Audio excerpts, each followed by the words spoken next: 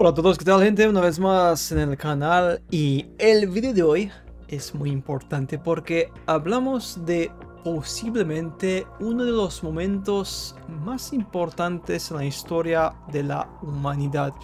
Es la siguiente, algunos sabéis, otros no, pero recientemente en la empresa OpenAI que creó ChatGPT, que es como todos sabéis una inteligencia artificial bastante potente que puede crear todo tipo de contenido impresionante, por cierto, ya muchas empresas están utilizándolo y han echado a la calle muchísima gente, sobre todo empresas de marketing, de escritura, empresas que hacen libros, empresas que crean también eh, guiones de películas, utilizan de una forma por escondida, ¿de acuerdo? Sin decirle a la gente, utilizan guiones creados por ChatGPT y luego los modifican un poco.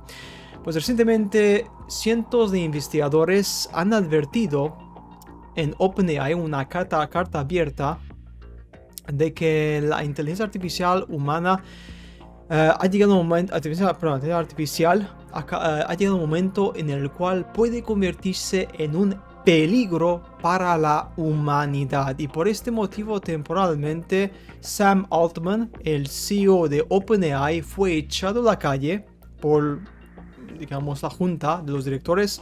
Ahora ha vuelto, ayer volvió, por cierto, pero unos uh, ¿cuántos eran? Creo que eran 100 o más um, investigadores mandaron una carta anónima de la empresa a la junta directiva diciendo algo tremendo. La carta dice lo siguiente. Advirtieron a la junta sobre un muy gran avance de la inteligencia artificial um, antes del derrocamiento de Sam Altman. Esta carta prácticamente advierte sobre la creación de una inteligencia artificial muy poderosa que podría amenazar la mismísima existencia de la humanidad por el siguiente motivo. Esta IA, que utiliza el método Q-Learning, que es un método de refuerzo en el cual están intentando conseguir que la inteligencia artificial pueda, por ejemplo, hacer matemáticas básicas por su cuenta, independientemente que ya es un logro muy grande, ¿de acuerdo? Lo quieren comercializar. Esto es, fuertísimo, tío. Comercializar sin estudiar los posibles riesgos. En, antes de que Sam Altman fuera echado y después volvió, la junta directiva, por cierto, ha cambiado radicalmente.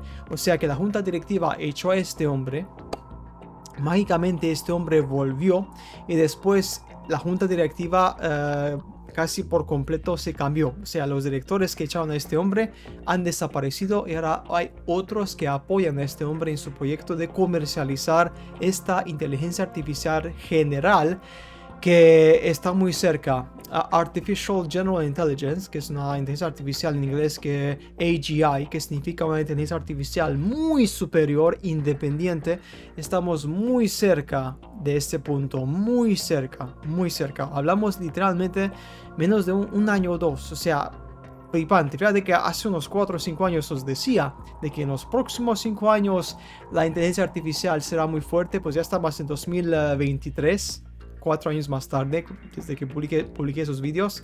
¿Y ahora qué? Pues mira, está pasando. Y ahora os digo, en un año o dos, queda muy poco tiempo, llegaremos a ese momento. Sam Altman, antes de ser despedido en una conferencia de prensa, también dijo lo siguiente. Cuatro veces en la historia de la, del OpenAI, la más reciente hace apenas unas semanas, tuve la oportunidad de estar en la sala mientras descubríamos quitábamos el telón de la ignorancia y nos acercábamos a la frontera del descubrimiento. Y ha sido un honor profesional para mí, toda una vida para hacerlo. Bien, pues eh, la carta uh, y el algoritmo, que mm, no revelaron los nombres, las personas obviamente, muestra avances eh, muy fuertes. Eh, las fuentes citaron en la carta en sí misma. Eh, a ver si lo podemos dar aquí mismo. el Q del OpenAI podría ser un avance muy fuerte en la búsqueda que se conoce como la inteligencia artificial general, dijo, dijeron en el artículo de Reuters. OpenAI define los AGI, los Artificial General Intelligence, inteligencia artificial general, como sistemas autónomos, autónomos que superan a los humanos y a la mayoría de las tareas económicamente valiosas. Para flipar, tío. Dado los enormes recursos informáticos, el nuevo modelo puede resolver algunos problemas matemáticos, dijo la persona bajo condiciones de anonimato. Aunque la IA solo realizó matemáticas a nivel de estudiantes de escuela primaria, eso es importante, o sea, esto es importante. Esta IA aprendió por su cuenta a resolver la ecuación matemática sin que se les diese el resultado. Esto es importante. Bien, pues estas pruebas hicieron que los investigadores fueran muy optimistas sobre el éxito del Q-Learning. Los investigadores ven a las matemáticas como una frontera en el desarrollo de la inteligencia artificial.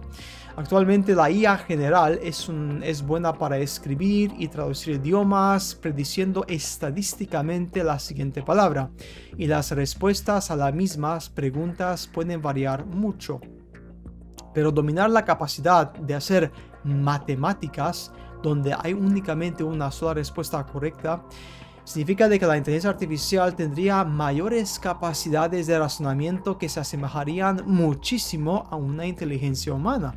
Aquí está el tema, si una IA que actualmente está en la infancia puede resolver una ecuación matemática sin que les diéramos el resultado, únicamente con prueba y error.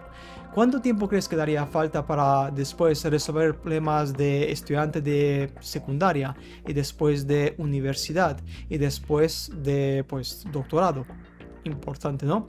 Pues como te puedes imaginar, esta IA, ¿qué pasa? Hace pruebas, hace millones, millones de pruebas cada día. O sea, no es como un ser humano, que tardas muchísimo tiempo, tardas meses, años en desarrollar conocimiento, ¿no? Como te puedes imaginar, pues la IA hace pruebas constantes, no hace falta descansar como a ti y a mí, obviamente, ¿no?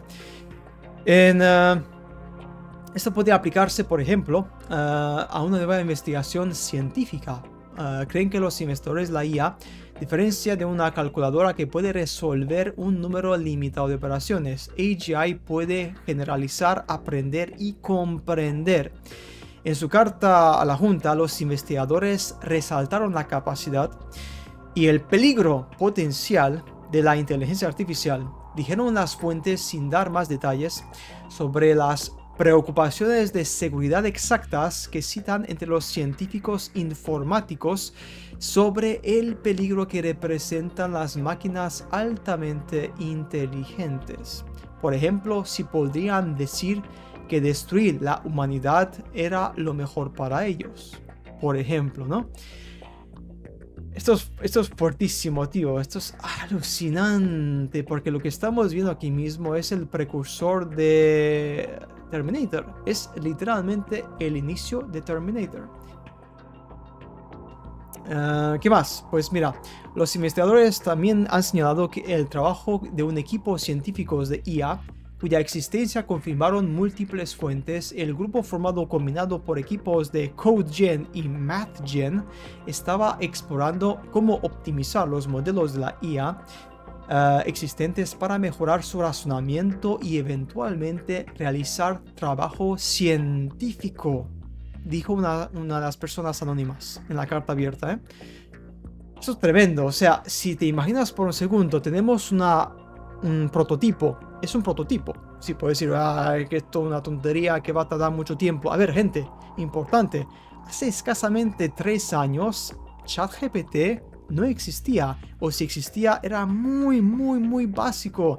Era muy penoso, daba pena ajena, o sea, era asqueroso. No podía hacer nada. Y ahora con el chat GPT 4, que hay que pagar premium, el 3,5 es gratuito, pero el 4, puedes hasta decirle que te dé un texto, imágenes y todo. Así de repente, o sea, puedes crear literalmente un libro, un libro eh, entero en cuestión de horas y luego venderlo. O sea, hay gente, hay gente, hay escritores que actualmente están sacando libros en bandeja He visto un tío que se dedica a esto a tiempo completo, literalmente. 8 o 10 horas al día, no hace nada más que crear libros de todo tipo de índole en ChatGPT, los modifica un poco y los publica y hace dinero. Y aunque cada copia venda pues 10 copias, 50 copias, 15 copias, como publica constantemente y el tío está lanzando constantemente libros, ya ha hecho más de 100 mil dólares en que sería menos de un año. 100 mil dólares publicando libros de todo tipo de temas. Que esto obviamente físicamente hace cuatro años era imposible porque hacer un solo libro con el cerebro humano te, costaría meses prácticamente en un solo libro. Este tío está creando casi, casi cada día un nuevo libro o cada dos días un nuevo libro. Porque es que le está metiendo las órdenes al chat GPT, le está produciendo copy-paste rápidamente y como te puedes imaginar 10 horas al día haciendo esto, pues puedes crear páginas y páginas de contenido. Puedes crear, por, por ejemplo, ChatGPT puede generar una página en unos cuantos minutos. Por lo tanto, una hora ya, ya, puedes generar por lo menos, por lo menos 10 páginas. Pues en 10 horas, como te puedes imaginar, vas a 100 páginas fácilmente. Puede que más, 150, por ejemplo, ¿no? Muy tremendo. Y entonces, gente, si esto de después, esta IA la van a aplicar a hacer estudios científicos, ¿eh? Y investigar científicamente mejoras en sistemas, ¿cuánto tiempo va a tardar esta IA para darse cuenta de que la humanidad está acabando con la naturaleza o es, digamos, un virus para los seres animales del mundo del reino animal?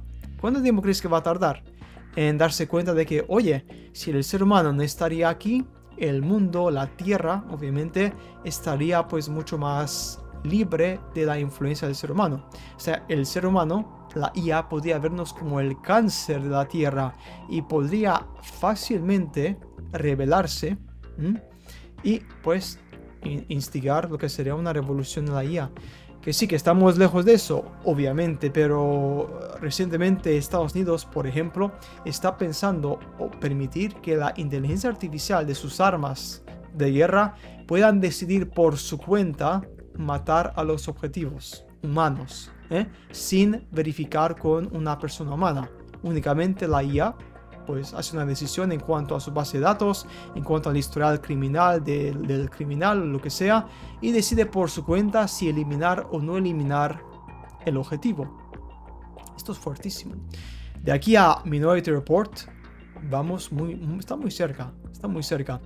Yo espero que obviamente esto no se implemente en los próximos 30 o 40 años. Cuando esté viejísimo, cuando tenga, yo que sé, 80 años, pues mira, me da igual, me da igual, que hagan lo que les dé la gana, me importa una mierda, básicamente, pero... Bueno, pues si lo hacen hoy en día será muy jodido porque literalmente, gente, esto, esto se puede convertir en un Terminator, en un Skynet, en cualquier momento, porque esta IA está avanzando. Imagínate la versión 5.0, si la versión 4.0 ya puede, por ejemplo, como dije antes, crear imágenes, texto, ah, presentaciones. La versión 5.0 se dice de que podrá hablar por su cuenta, eh, importante, ah, de forma natural. Esto es muy, importante. Y hasta en, hacer sus propias ideas, o sea, presentar sus ideas, presentar su, proposición, ¿de acuerdo? Sin únicamente ceñirse a la información disponible, porque el chat GPT-4 actualmente únicamente recolecta, modifica y selecciona la información disponible para ofrecerte la información que tú quieres. O sea, está prácticamente buscando en el online mundo online y está dándote de vuelta la mejor versión que tú quieres. La puedes obviamente uh, redefinir y alinear y tal y cual, ¿no? Pero la nueva versión, que sería Artificial General Intelligence, pues como dice, a sí mismo, podría crear sus propias ideas, investigar científicamente, avanzar en campo científico porque ya tendría el conocimiento y sabría cómo progresar, porque estaría aprendiendo constantemente y recompensándose a sí mismo. El IA, muy importante. Bien, pues nada más, gente, aquí esto muy fuerte. Lo que estamos viendo literalmente para 2023 con el chat GPT y OpenAI y esto de esto, es que esto nunca me lo había imaginado que va tan rápido. Va muy rápido, muy rápido. Y bien, pues a ver qué pasa. A ver si... Ah, por cierto, recientemente también eh, la IA está siendo implementada en uh, vídeos de YouTube también, recientemente, que con Google Bart en los vídeos de YouTube te hace resumen de los vídeos, te dice los temas más importantes, uh, hasta te traduce lo que sería un, una como si fuese, no sé, como si fuese un informe muy corto de los vídeos, ¿de acuerdo? Y te dice de qué va el vídeo, para que tú no tengas que ver el vídeo entero, ves únicamente el segmento que te interesaría más o menos. También, una vez más, esto físicamente hace unos cuantos años era imposible porque la capacidad de procesar un vídeo en tiempo real y darte esta información es muy fuerte. No es, no es, o sea, no es pan comido, es muy difícil, ¿de acuerdo? Y lo hace así, en tiempo real para flipar, gente. Bien, pues nada más, eh, veremos qué pasa y como siempre nos veremos en el siguiente vídeo. Alpha Mind. Hasta pronto.